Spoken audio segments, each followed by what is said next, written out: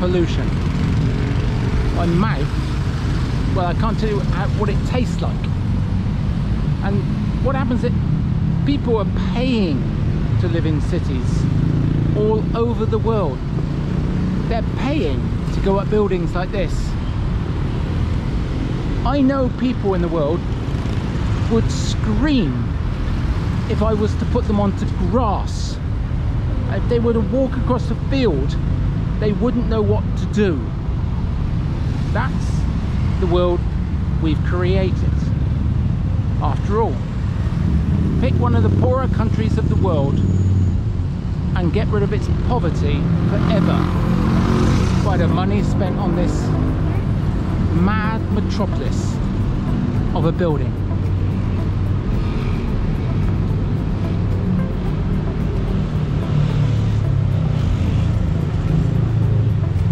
Smell of sewage is also incredible.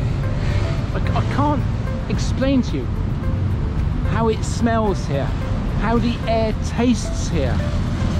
And within the stone throw, homes go up to one or two million euros for a big home, a big apartment, or two or three hundred thousand euros for just enough space for two people to live in.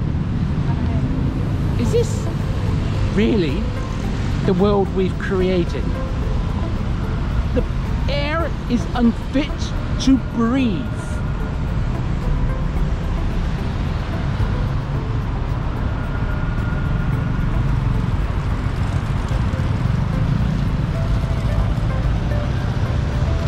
Beautiful mosques around here are calling people in to pray.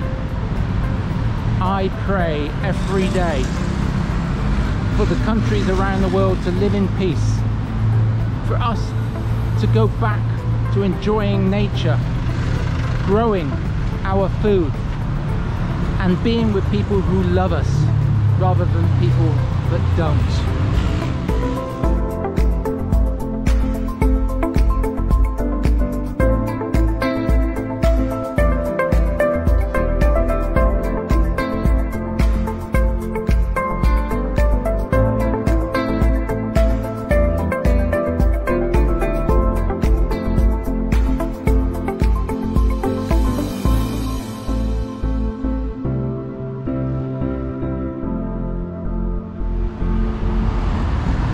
To say, praise be to our Lord.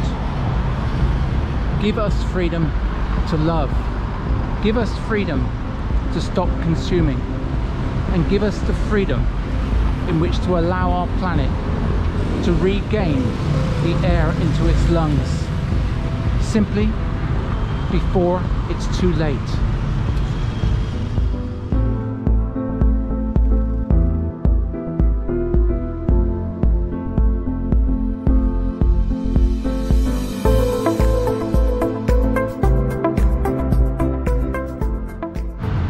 National Mosque of Malaysia.